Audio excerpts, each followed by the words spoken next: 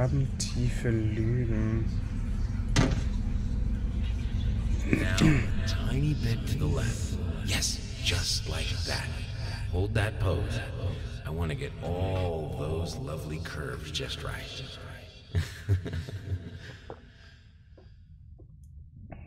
Oh, hoppalamos. I'm not that round.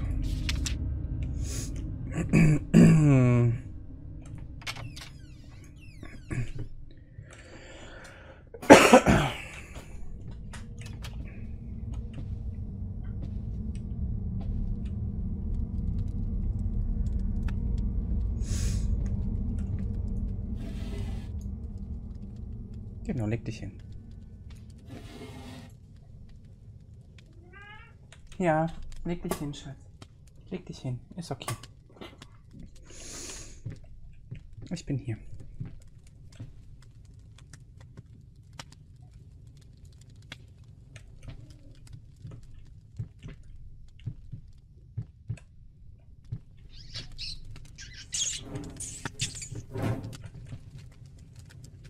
Ähm. Okay. Die Selbstmordratte. Why not?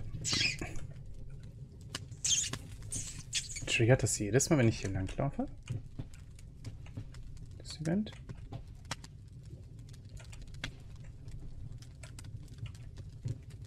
Oder nur, wenn ich aus einer bestimmten Richtung komme, komme oder hingucke.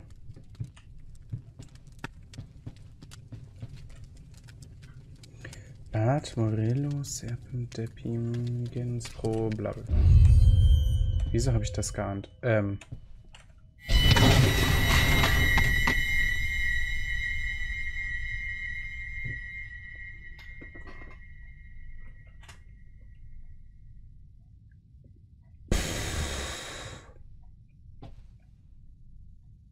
What the... Wa, wa?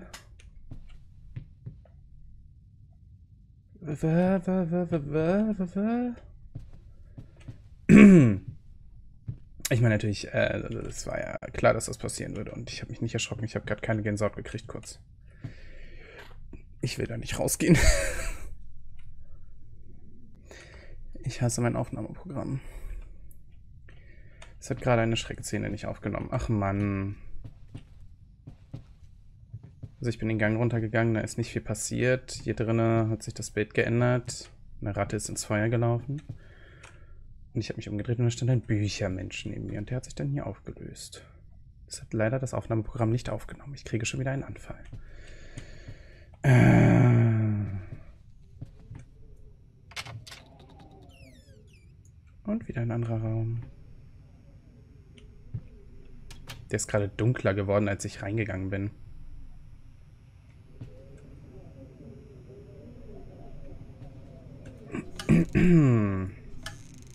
Alter, wie viele Bücher kann man denn haben? Holy shit, Renner, ey.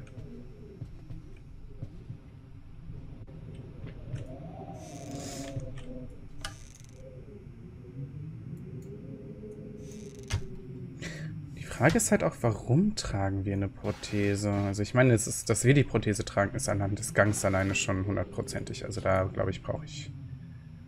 Brauchen wir uns nichts vormachen. Die Frage, die ich mir nur stelle, warum? Deines letzten Briefes, ich bin mir sicher, dass das nichts ist, worüber du dich sehr sorgen müsstest. Frauen neigen dazu, seltsam zu werden, nachdem sie ein Baby bekommen haben. Wow, okay. Hormonelles Ungleichgewicht und so. Als er unser erstes bekam, erinnere ich mich, hat äh, Valerie den Blues richtig schlimm gehabt. Ich frage, was sie zum Mittagessen haben wolle und sie brach einfach in Tränen aus. Hm. Ist einfach für sie da und ich bin mir sicher, dass es gut werden wird.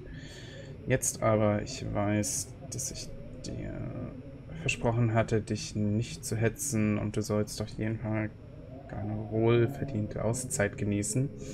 Aber nur, um es dich wissen zu lassen. Ich bekomme Anrufe rauf und runter, Aufträge links und rechts. Äh, die Du bist eine ganz heiße Nummer, mein Freund.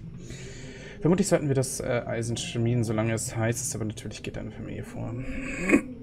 Freund und Agent Thomas Carter.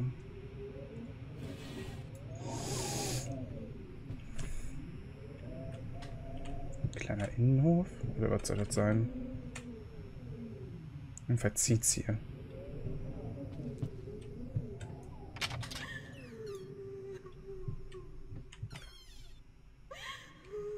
Oh nein.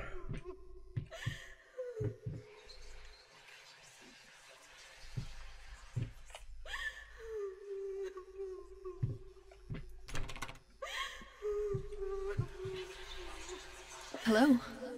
It's about time for us to talk, don't you think? I mean, I've seen you in my house so many times, and yet I could never find the courage to face you directly. Not until now.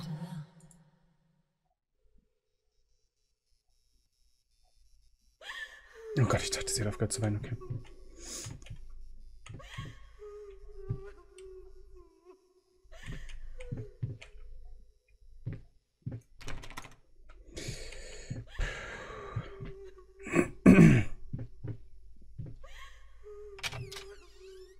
Oh.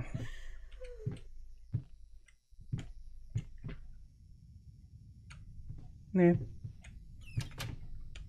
Schön. Die Tür geht von alleine zu. Na, super geil. Wieder in einem Lagerraum. Das Haus ist halt echt... Holy fuck, ist das kaputt.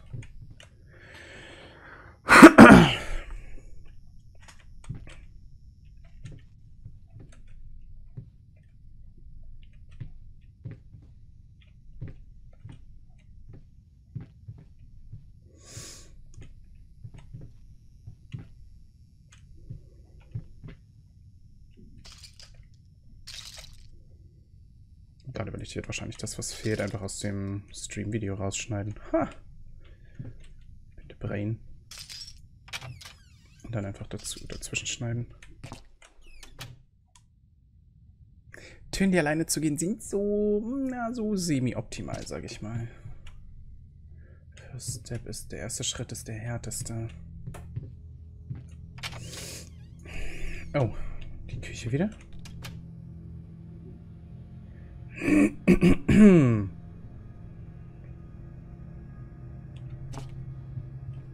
Ist aber diesmal ein bisschen anders. Hier war vorhin noch was offen.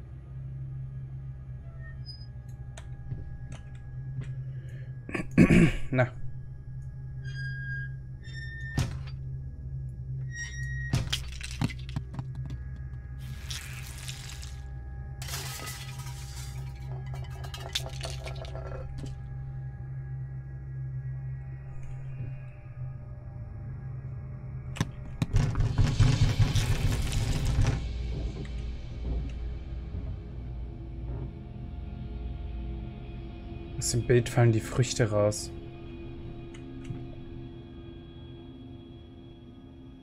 Das Knoblauch ist runtergefallen.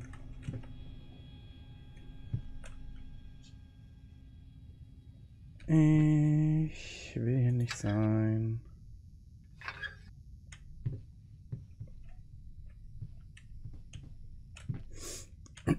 Okay. Ja, mach das ruhig noch schneller auf und zu.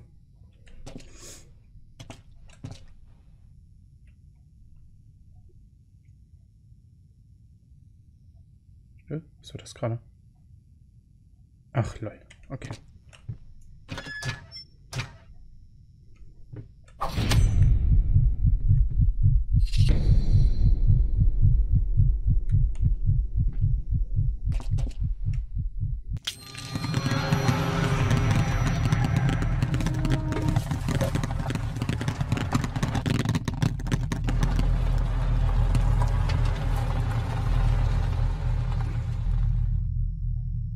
First, I looked for a canvas. Not just any canvas. I had to find a knife. Not one of those bread ones. It needed to be as sharp as a razor. So I used a razor, in fact, and then carefully flayed the skin. Booze helped keep my hand steady.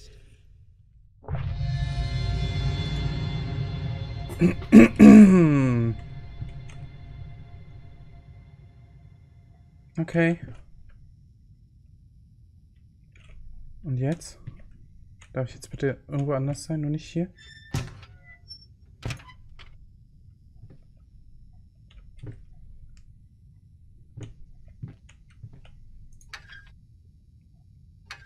Gibt es das aus dem Inventory? Nein. Kann man das so speichern? Nein, das speichert automatisch, okay.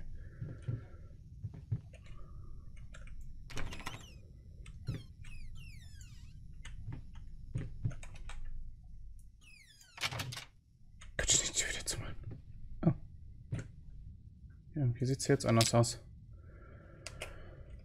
Tief durchatmen, denk dran, du bist ein Profi. Das sind nur die ersten Pinselstriche, danach bist du über den Berg.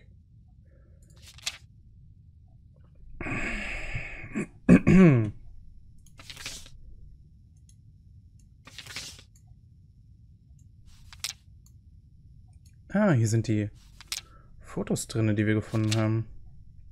Zumindest ein paar, nicht alle. Oh. Obwohl nicht im. Ah, okay, und auch die Briefe, die wir gefunden haben. Also ein paar davon. Auch hier nicht alle, die wichtigen wahrscheinlich.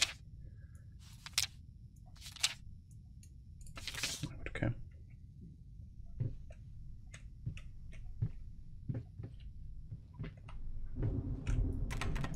Mir auch so, okay.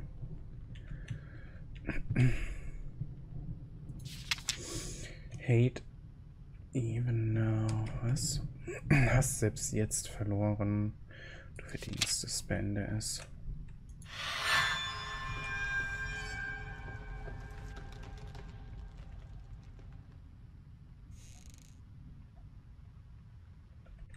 Ew. Ew. Das sind verlaufene Flamingos.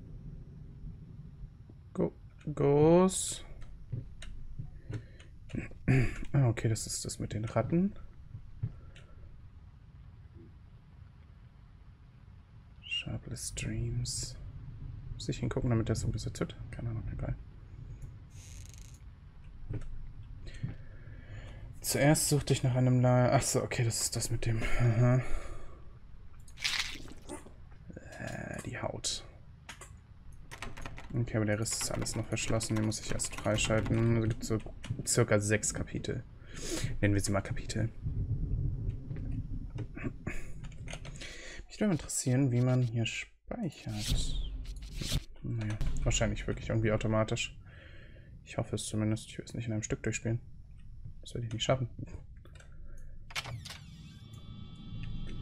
Schon wieder Eingang.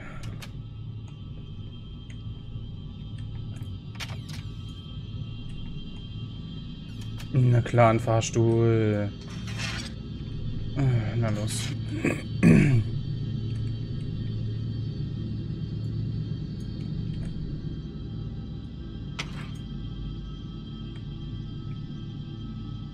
Achso, geht nicht, okay.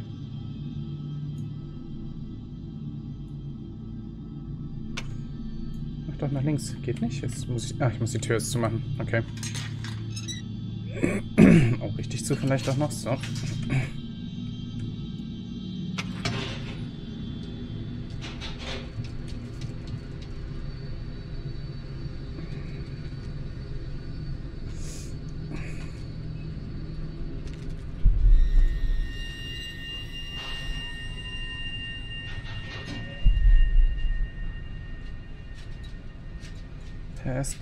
On. Vergangenheit hol dich ein. Äh, was war das für eine Tuse? Ach, oben.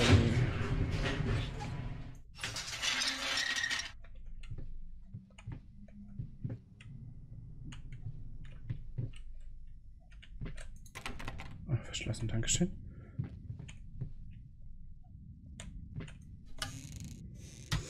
Ach ja, Omi. Hallo? verschlossen, okay. Auch verschlossen. Hm, bleibt ja nur noch diese Tür.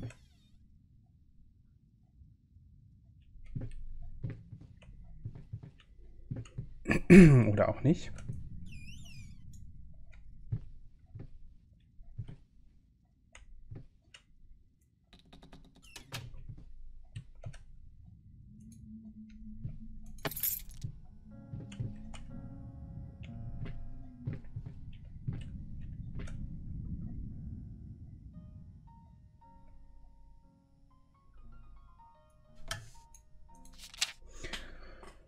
Oh Gott.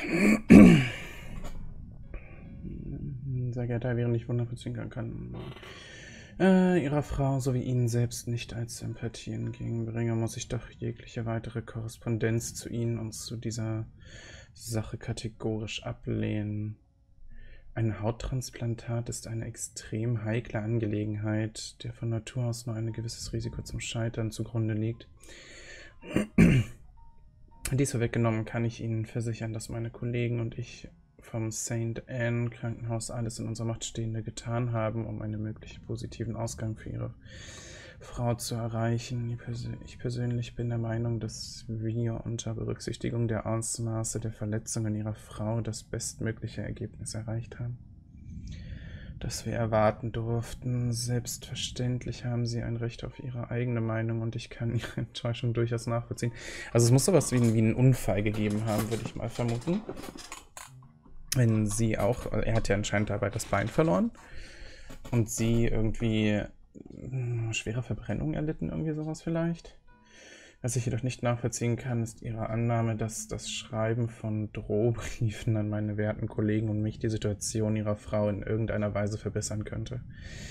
Wie ich bereits geschrieben habe, kann ich sehr wohl verstehen, dass Sie derzeit unter großen Anspannungen leiden, weshalb ich von einer Strafanzeige absehen werde. Sofern Sie von jeglichen weiteren Korrespondenz Abstand nehmen, lassen Sie mich ganz klar festhalten, dass ich keine weiteren Drohungen gegenüber unseren Mitarbeitern, unseren, meiner Familie oder mir selbst dulden kann und werde.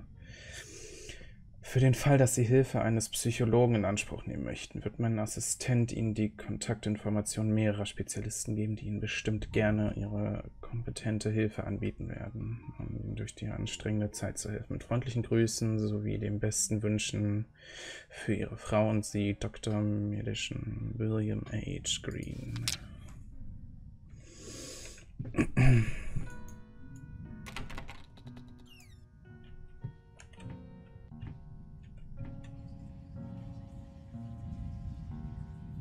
Wait a second, war der Raum nicht auf der anderen Seite?